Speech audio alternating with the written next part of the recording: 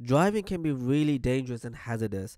You're looking at literally split seconds away from having a major accident. In this situation here, we can see a car flipping over. We hope that whoever was in the car, whatever the collision was, that the people inside the vehicle and the surrounding were safe. As a teacher, we've seen it all. So let's see what the student here would do in this situation. When you're learning to drive, you may come across unusual situations. Um, for example, you might have an emergency vehicle driving past you and you don't know really what to do because you never experienced it. Yes, theoretically, we've seen it, um, we've talked about it, we've analyzed it in our theory test, but practically can be a completely different matter. In this situation, we're going to come across, you'll see, a massive accident right now in this situation, first of all, the student is on the left hand side correctly.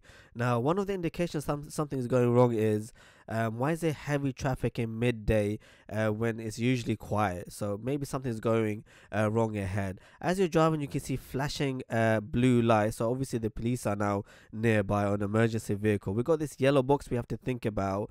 As you're driving, you can see the student is almost literally stuck on the yellow box. Now, luckily the car in front is very gently edging forward.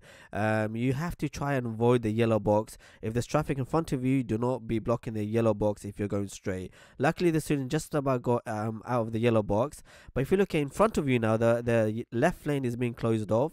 So the student now has to check the right and edge out slowly to the middle lane. You can see a police vehicle straight ahead. Now, now a slight a slight problem uh, again happening, which is the student now has to move to the far right lane because it looks like the middle lane is being blocked off. In these situations, check your mirrors thoroughly, indicate, um, be aware of the car behind not giving you way. Obviously, slowly try to edge out towards the right in this situation. The key is checking your mirrors and not being scared to try to push yourself into the uh, correct lane because your lane is now being blocked off. As you're driving, you can see the cones, you can see uh, the police vehicle and this car. Unfortunately, massive accident flipped over. Now the lanes are going to open back up again and you want to move back into the far left lane.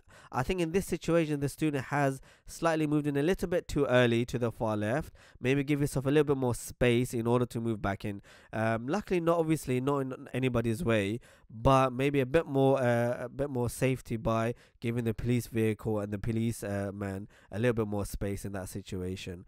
Um, but again, correctly though, trying to move back into the left lane, so that is the right decision. Guys, don't forget to like, share, and subscribe with FM Driving School. And as I said, do check out our site fmdrivingschool.co.uk for all the like, latest info, how uh, uh, how the modules are going to be in your driving lessons. And thank you for watching.